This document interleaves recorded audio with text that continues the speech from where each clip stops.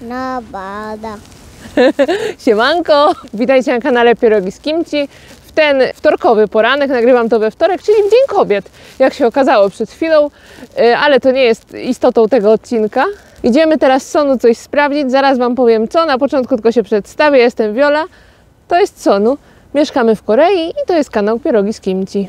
Idziemy teraz do nowo otwartej piekarni, tylko że Pan Sonu tutaj się postanowił bawić, gdzie jest Sonu.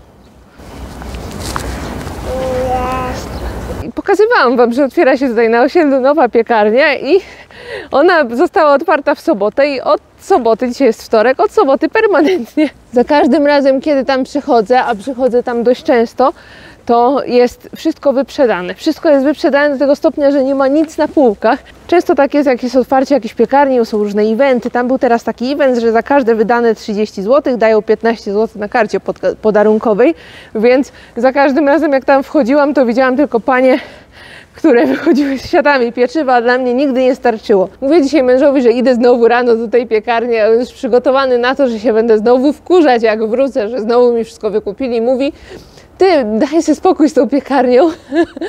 Jedź dzisiaj do Daejeon, bo jutro jest dzień wolny w Korei. Yy, Dzisiaj też dużo osób ma urlopy i w ogóle, ale dzisiaj jest taki luźniejszy dzień i mówi jeźdź dzisiaj do Daejeon, tam jest jedna ze sławniejszych piekarni w Korei i taki mam plan. Mój mąż zaraz po tym swoim wspaniałym pomyśle zarezerwował mi miejsce w pociągu o 13.40, więc idziemy tylko sprawdzić, czy dzisiaj znowu też wyprzedali chleb w tej piekarni, bo jestem naprawdę ciekawa i pojadę do Daejeon szybkim pociągiem, więc przygotujcie się na odcinek, w którym odpowiem Wam na pytanie, na które częściowo już odpowiedziałam, cały czas gadając o tym wykupionym chlebie. To pytanie brzmi, czy Koreańczycy w ogóle jedzą chleb? Drugie pytanie brzmi, czy Koreańczycy w ogóle wiedzą, co to jest dobry chleb? I trzecie pytanie brzmi, zapomniałam, bo ja tu się muszę skupić na rozpierającej energii. Pana Sonu. No cóż, nie wiem, czy ja dzisiaj dotrę do tej piekarni na osiedlu, a co dopiero do tego Daejeon. Wasze dzieci też tak kochają schody?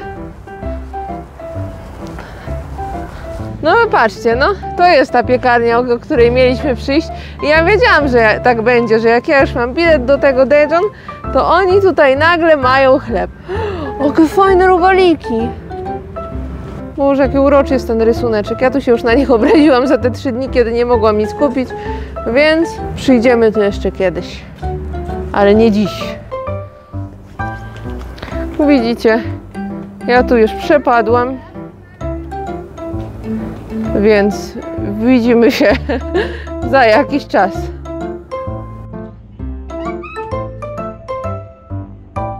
Jak widzicie, jesteśmy w stałej znanej Wam okolicy. Idziemy teraz na stację metra. Ja za 15 minut, no pewnie już za 10, mam metro. Tym metrem będę jechała do miasta Piątek. Piątek to jest bawiące wszystkich Polaków miasto w Korei, bo wymawia się prawie jak nasz piątek, prawda?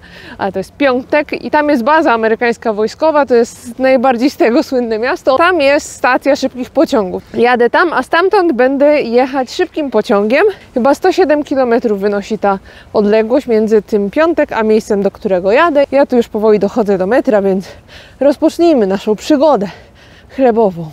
Mam nadzieję, że chłopaki się będą fajnie bawić. Skoro jest ten Dzień Kobiet, to ja zajmuję się sobą i w ogóle to tak żartuję z tym Dniem Kobiet, bo w Korei się nie obchodzi Dnia Kobiet, bo jest White Day, czyli Biały Dzień 14 marca i wtedy kobiety dostają prezenty. Jak widzicie, moda na czarne puchowe płaszcze wydaje się przeminęła, ale nie przeminęła, po prostu zrobiło się ciepło. Tym razem jedziemy w metrem w drugą stronę, czyli w tą. Zawsze wsiadamy tutaj i jedziemy w stronę Seulu, ale tym razem oddalamy się od Seulu. Dojechaliśmy i znak mi od razu mówi, że mam tutaj iść na ten mój pociąg SRT. Te pociągi szybkie nazywają się SRT, są też pociągi KTX, są też pociągi jakieś GTX, dużo jest tych różnych dziwnych skrótów.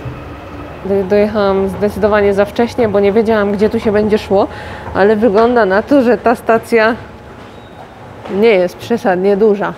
Najpierw musimy wyjść z metra, bo te SRT i metro to jest inna firma. Na dworzec. Wygląda na to, że jakbym nie miała biletu, to mogłabym go kupić tutaj, ale mam bilet.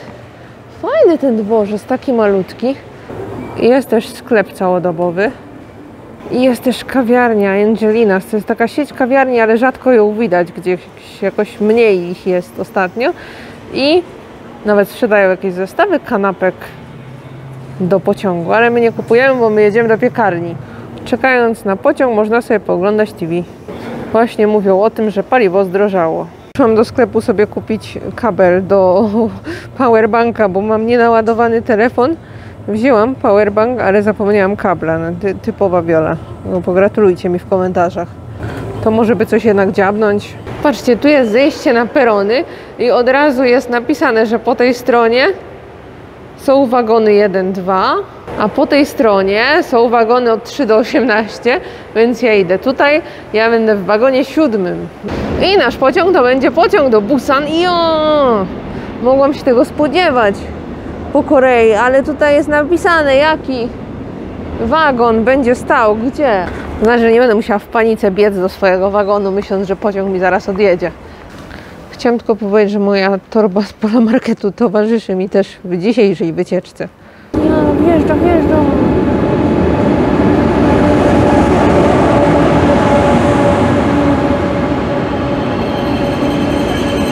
Czy on się rzeczywiście zatrzymał tam, gdzie jest numerek? O, rzeczywiście, jestem zaskoczona.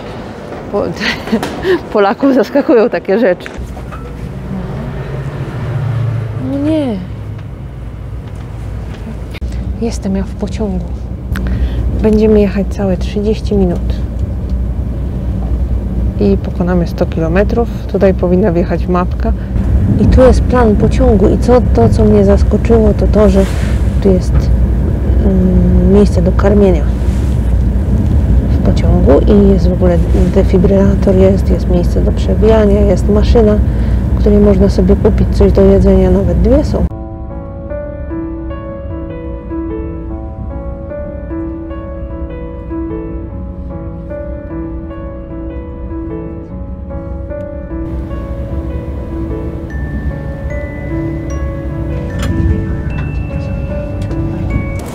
Dojechaliśmy.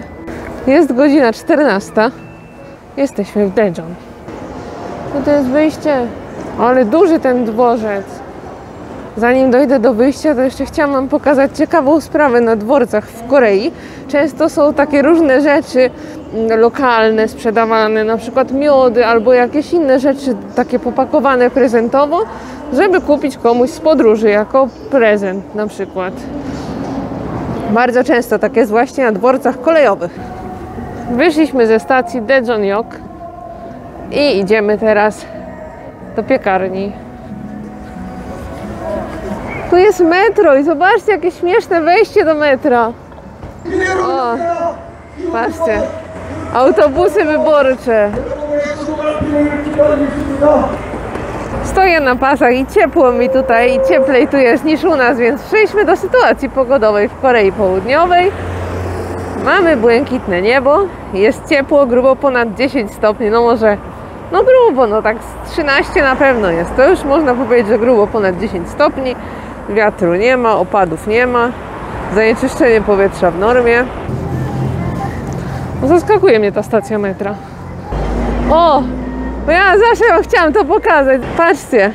No i tutaj są jacyś nieżwawi teraz prawdopodobnie po obiedzie i po prostu im się nie chce, ale zawsze przed wyborami tak tańcują i w ogóle pokazują coś na drodze, machają. Może mi się trafią jeszcze jacyś bardziej ruchliwi. O! A tu jest jeszcze autobusik. A wybory są jutro, czyli w ten dzień, który oglądacie ten filmik. Może, chyba że oglądacie później, no to już przesądziły się losy. Wy już możecie sobie sprawdzić, kto wygrał. Ja jeszcze nie wiem. Zupełnie inny klimat ma to miasto, taki bardziej, no taki dawny bardziej. O, pani jogurtów jest i tutaj. Znaczy, ma przerwę, ale je była. O, patrzcie, stacja też wygląda jak pociąg, ale fajny. Dobrze, idźmy. Idźmy, nie ma czasu, jestem głodna niesamowicie. Zobaczcie, co mi się wydaje, że ten most też jakoś dziwnie przypomina pociąg. Nie no, może to już moja nadinterpretacja, ale idziemy po chlebek. I skoro już tak idę sobie i nie ma tutaj przesadnie za wielu ludzi, to Wam tylko powiem. Ja cały czas mówię, że idziemy po chlebek, ale tak naprawdę to pewnie skończy się tak, że będziemy jeść same słodkie rzeczy i bądźcie na to gotowi. Patrzcie. Ciekawie to wygląda. Jest rzeczka, tam jest jakaś kulka. Tu jest jakaś ulica. Chyba jakaś taka zakupowa, nocne życie taka. Wiecie o co chodzi. Widzę, że tutaj są jakieś karaoke, jakieś gry i tego typu rzeczy. Skręcamy. Nie wygląda to jak coś, gdzie miałam skręcić, no ale niech będzie. Poszukamy tej naszej piekarenki. Chodnik nam się stracił. Imprezowa ulica! O! Kolejna imprezowa ulica! O, o, jest! Tak, to tu. No to chcieliśmy przyjść. Zobaczcie, jaka wielka piekarnia, cukiernia. Zobaczcie, bagiety z mosiądzu, czy z czegoś tam. Wchodzimy tu, moi drodzy. Wchodzimy. Czy to jest kolejka do wejścia? Oglądałam zdjęcia y, z tego miejsca sprzed roku, to były kolejki do wejścia, a to chyba był jakiś dzień wolny robiony, bo normalnie raczej jest luźno w miarę. Mam nadzieję, że uda nam się tam w środku usiąść. Wejdźmy. Nie wiem, jak ja to nagram i będę przy okazji brać chlebki, ale no dobrze. Ja już mam oczopląs.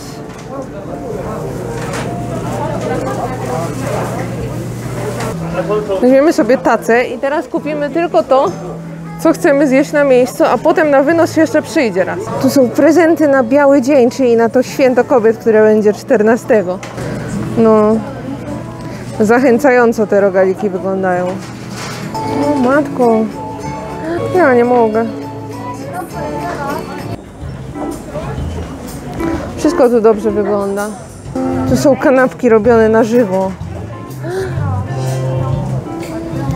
Tu jest królestwo smażonego i to wszystko są krokieciki, czyli takie pączki. W koreańskim rozumieniu krokiet to nie jest zawijany naleśnik. Co tu jest? Ja chcę wszystko. O, zwijane pączki. Zobaczcie, to są trochę dłuższe niż te nasze. Real melon. To jest bardzo fajny chlebek melonowy. Bierzemy, to ja to lubię. Tam pójdziemy, tu są smażone strucle, smażona kruszonka i to jest coś, z czego słynie ten lokal. Więc tam pójdziemy. Dostałam zamówienie, żeby to wziąć na wynos w takim secie dla mojego męża i dla Sony oczywiście. Tu są takie zestawy. Potem przyjdziemy po taki zestawie, a teraz wybierajmy.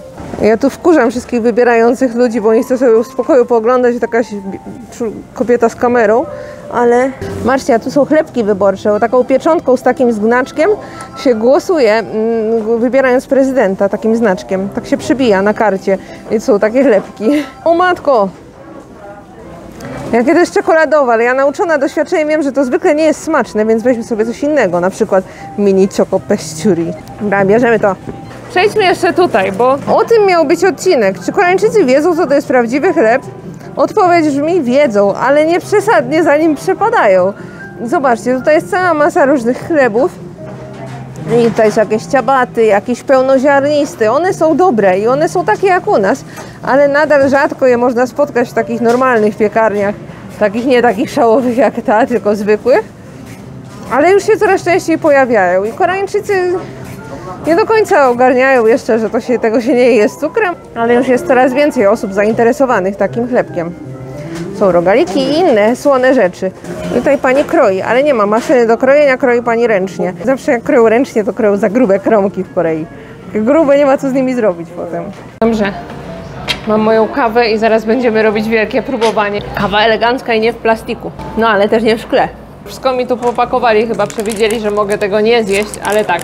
Zacznijmy od specjalności lokalu, czyli smażonej bułeczki z kruszonką. To się nazywa sobo, sobory, soboro, soboro, czyli to jest taki sztrucel, czyli taka kruszonka, bułka z kruszonką po prostu i ona w środku na pewno ma pastę z fasoli, no bo szanujmy się, większość takich słodkich wypieków ma w Korei pastę z fasoli, a na górze wzięliśmy czekoladę. I, I jeżeli zapytamy Koreańczyka, co to jest, to on powie, że to jest bang, czyli chleb, bo w Korei nie ma odróżnienia na słowo chleb i na słowo, nie wiem, wypiek, słodki wypiek, coś takiego. Nie ma takiej różnicy.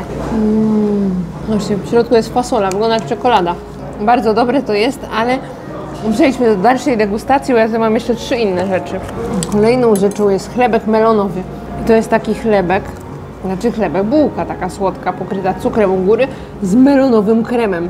I to smakuje jak lody melona. Jeżeli jedliście kiedyś lody melona w Korei, albo w koreańskiej restauracji często je sprzedają, one są bardzo zaskakująco dobre, bo spodziewalibyśmy się po nich, że to będą lody wodne, a one nie są wodne, tylko kremowe i mają smak melona. Coś pięknego i to pachnie tak jak te lody i chyba będzie tak smakowało. O, dobre. W ogóle ta piekarnia, w której się znajdujemy, zo- została założona w 1956, to się sprawdzi się tu napisze, roku, czyli bardzo dawno. I można by się było spodziewać, że Koreańczycy wtedy nie wiedzieli za wiele o chlebie jeszcze, ale jednak wiedzieli. Ja tu jeszcze mam coś takiego. Nie zawaham się tego użyć. Ma w środku tyle czekolady. O, ja to chcę. Najlepszy dzień kobiet w życiu. Chlebek z jajkiem i krewetką. Nie wiem, gdzie jest krewetka, ale myślę, że dobrze mi zrobi po tym nadmiarze słodkiego. Dobre, to jest taki sosik. To jest całe jajko. A gdzie jest krewetka? Miazga, super smaczne to było. Dobra, było subcio. Najadłam się tyle, że zaraz umrę po prostu, ale mam nadzieję, że przejdzie mi do powrotu do domu, bo planuję zrobić jeszcze spore zakupy na wynos. Weźmiemy sobie teraz jakiś prawdziwy chlebek. No, to jest taki cały ziarnisty, ale no może bez przesady. Może weźmiemy taki. Tutaj dalej jest taki niesamowity ruch i idziemy teraz po te pakowane trzy smażone sztrucle i trzy z buczu i tego będziemy próbować w domu. Okej. Okay.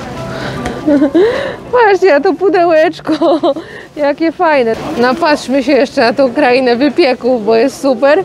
I idziemy do kasy. Zamnida. Super było, pa, pa.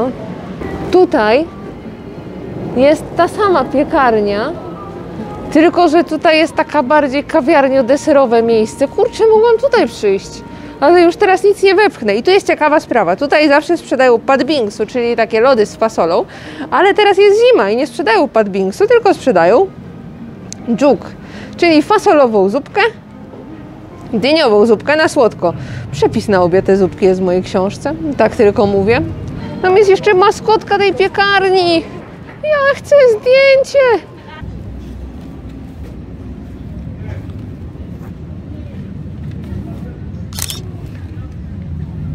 Ten sam lokal ma trzy różne miejsca, tutaj ten sam jakby ta sieć i tutaj są ciastka. No to musimy tu wejść, może weźmiemy jakieś na wynosik. Patrzcie, kogo spotkaliśmy. Ja już wiem, że mi się tu bardzo podoba. Jakie babeczki! O co chodzi z tym pi? Nie wiem o co chodzi z tym pi, ale jest urocze. Tu też jest pi. O co chodzi z pi? Patrzcie na to. Pani przyniosła takie cuda. U pani ma super czapkę. Tutaj są roll pokazane. Pokazane jest, co jest w tych opakowaniach. Rolady. Koreańczycy lubią rolady. To mi się podoba jeszcze bardziej niż mi się tam podobało. Patrzcie, orzechowe tarty, które piekliśmy już. I tutaj można sobie kupić też całą masę różnych ciast zapakowanych. Te są oczywiście z plastiku, tylko żeby pokazać jak wyglądają. No, Mimo, że są z plastiku, to i tak wyglądają apetycznie. Tak to wygląda, są takie zestawy prezentowe, na przykład na święta dla kogoś. Koreańczycy kochają takie zestawy prezentowe. Już wiem o co chodzi z Pi, bo 14 jest Pi Day. Dzień Pi. Weźmy tu coś jeszcze szałowego dla mojego dziecka. Co byście wzięli stąd? Ten duszek mnie przekonuje, ale chyba jest zbyt czekoladowy, żeby mu smakował. Dobra, bierzemy duszka. Czekam ja na moje ciasteczka, żeby zostały spakowane. Zobaczcie, jakie tu są szałowe ciasta. To jest trochę inny poziom niż bagieta. Bagiecie jest wszystko takie ładne, ale no nie, no takie ładne jest, a tu jest chyba i ładne i dobre. Ale nie ma jakiejś postaci z bajek i tak dalej. Szkoda, że nie mieszkam w tym mieście, fajnie by to było mieć urodzinki. No tu było jeszcze takie ciasteczko z truskawkami. No nic. Mijamy sobie tą dziewczynkę i idziemy. Dobrze, pozwólcie, że ja sobie teraz kupię bilet na pociąg przez internet, żeby być spokojna, że go mam i będziemy kontynuować naszą drogę na dworzec. Bilet kupiony i mamy jeszcze 40 minut, więc może pójdziemy sobie zobaczyć tą rzeczkę na dół. Ja wiem, co tam jest. Tam jest jakiś mostek zakochany. Dobra, idziemy na mostek zakochanych. No więc, że przyjechałam tutaj sama.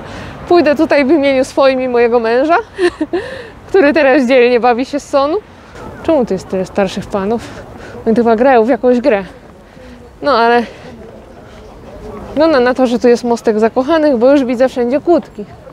No Na, na, na mostku zakochanych kwitnie handel skarpetkami. Ten handel tutaj na pewno nie jest zawsze, tylko dopóki ktoś się nie zainteresuje tym, że tutaj nie można nielegalnie sprzedawać skarpetek. Przypuszczam. No trochę psuje romantyczny widok. Zakochanych też tu raczej nie widać. Ale ładnie tu. Jak dzisiaj ciepło. Bardzo dużo starszych osób, bo musicie wiedzieć, że młodsze osoby bardzo intensywnie migrują w kierunku Seulu, a starsze osoby często zostają troszeczkę bardziej na południu Korei i potem widać to bardzo w miastach, że yy, bardzo dużo mniej jest młodszych osób, a dużo więcej starszych. Patrzcie, most wygląda całkiem elegancko z tej strony. Patrzcie, dalej machają i dalej im się nie chce. No ile można, to już ostatni dzień kampanii. Namachali się przez miesiąc co najmniej. Jej, jesteśmy na dworcu, udało się, zdążymy na pociąg. Znaczy nie powinnam mówię, że mówić hop, ale wygląda na to, że zdążymy na pociąg. Jest 15.42. Mój pociąg będzie za dokładnie 18 minut. Wyrobiliśmy się w czasie. To była najkrótsza wycieczka w historii, ale chyba najlepsza. Przynajmniej dla mnie. Najfajniejsza dla mnie, bo zjadłam dużo cukru. Wróciłam. Słońce jeszcze wysoko i wycieczkę uważam za udaną. Najadłam się glutenu, nawiozłam glutenu i tak, to byłaby taka wycieczka. Teraz jeszcze tylko damy Sonu do przetestowania jego bułeczki i ciasteczka. Więc to już prawie koniec tego odcinka, jeszcze chwileczkę. Mam nadzieję, że w tym odcinku udało mi się odpowiedzieć na pytania, które zadałam sobie sama wcześniej. Czyli czy Koreańczycy jedzą chleb? Jedzą. Czy wiedzą, co to jest dobry chleb? No chyba wiedzą. I jeszcze było jedno pytanie, którego zapomniałam sobie zadać, którego nadal nie pamiętam. To by było na tyle. Dziękuję bardzo za uwagę. Do widzenia. O, Jasonu! Proszę. Otwórz. Już otwieram, Sonu, proszę. A gdzie twoja łyżeczka? Ono widziska. Wróciłam i mimo, że chwilę temu zakończyłam ten odcinek, to jeszcze trzeba podegustować troszeczkę. Jak widzicie, już jest degustacja w toku. Proszę łyżeczkę, może tutaj zobacz, to jest takie czekoladowe. Dobre? Rada. Czekolada, tak. A chcesz ten kremik? Krami. Mhm.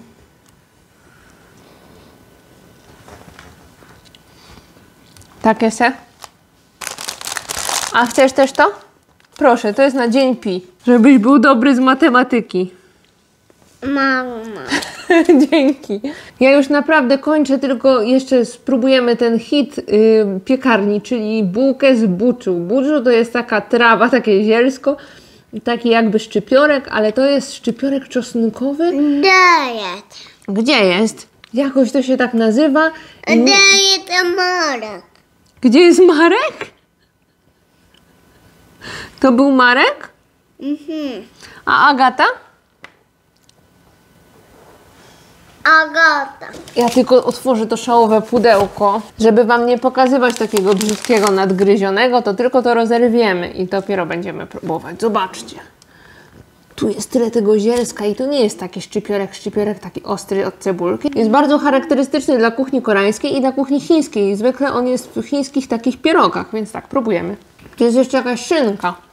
Nie jest szałowy. Dobra, chcesz trochę? Proszę Cię. Dobra. Dobra. No i jeszcze ten mój bochenek chleba, ale to może na kolację jakaś kromka. Więc my już kończymy ten odcinek i mówimy Wam pa pa! Dobra. Pa pa!